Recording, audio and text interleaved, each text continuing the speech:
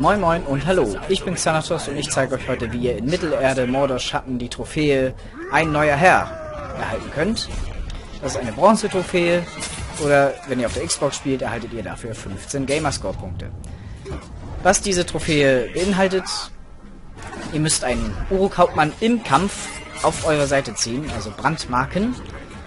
Dadurch äh, benutzt einfach im Kampf die Fähigkeit äh, Kampfmarken wenn er low genug ist, das seht ihr an dem grünen Totenschädel, und er muss nur noch sehr, sehr wenig Energie haben, sammelt äh, genug Combo-Punkte, um so, ich glaube, auf der Playstation war es mit X und Kreis gleichzeitig, auf der Xbox wäre es dann mit A und B und übernehmt ihn dann im Kampf.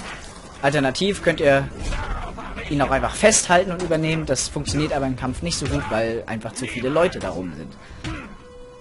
Genau, ich klopp ihn hier einfach ein bisschen runter, hab gemerkt, ja, er hat noch viel zu viel Leben, krieg hier von seinen ganzen Kollegen auf die Fresse.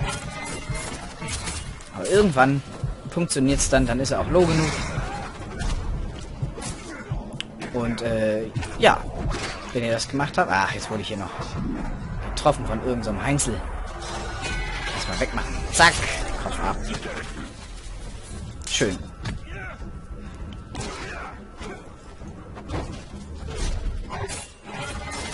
An seinen äh, Minions, die hier mit rumlaufen, kann man gut die äh, Kombo-Punkte hochhalten. Und da ist es schon passiert. Da habe ich ihn übernommen. Und zack, ist die Trophäe aufgeploppt. Ein neuer Herr. Ach, wie schön. Ich hoffe, es hat euch geholfen. Ich bedanke mich recht herzlich fürs Zuschauen. Ich melde mich ab. Ich bin Senatos. Bis zum nächsten Mal.